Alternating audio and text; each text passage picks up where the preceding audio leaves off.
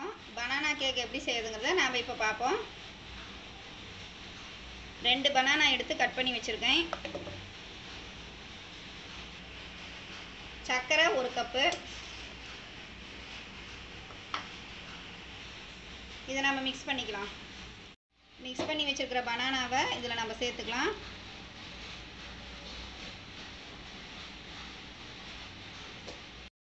கோதுமை மாவு ஒரு கப்பு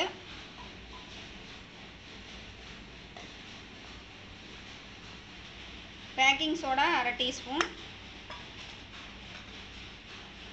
பேக்கிங் பவுட்ரு ஒரு டீஸ்பூன். ஆயில் கால் கப். இதை நல்லா மிக்ஸ் பண்ணிக்கலாம்.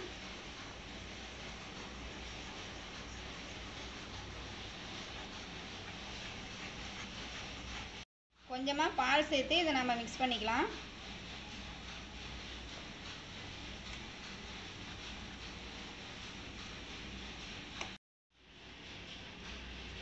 வினிகர் வந்து ஒரு டீஸ்பூன் ஊற்றிக்கலாம்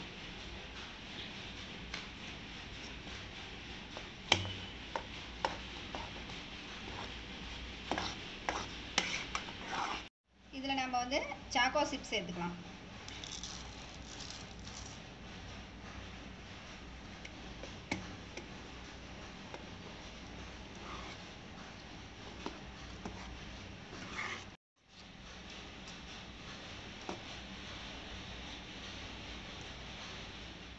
இப்போ இந்த ட்ரேவில் வந்து பட்டர் பேப்பர் போட்டு ஆயில் அப்ளை பண்ணி வச்சுருக்கேன்.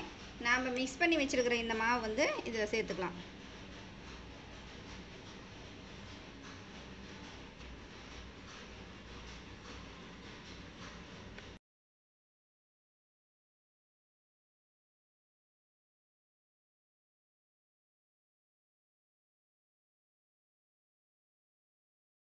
இப்போ குக்கரை பத்து நிமிஷம் சூடு பண்ணி வச்சுருக்கேன். இதில் வந்து நம்ம மூடி போட்டு முப்பதுலேருந்து நாற்பது நிமிஷம் வரைக்கும் விசில் போடாமல் வச்சுக்கலாம்.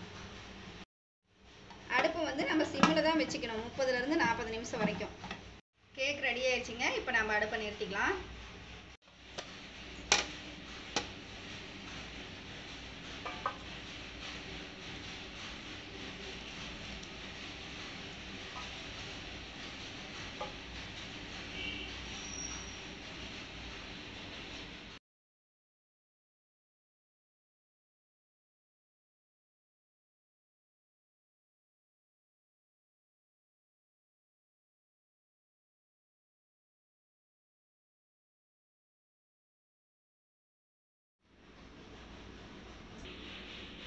பனானா கேக் ரெடி ஆயிடுச்சு. நீங்களும் ட்ரை பண்ணி பாருங்கள்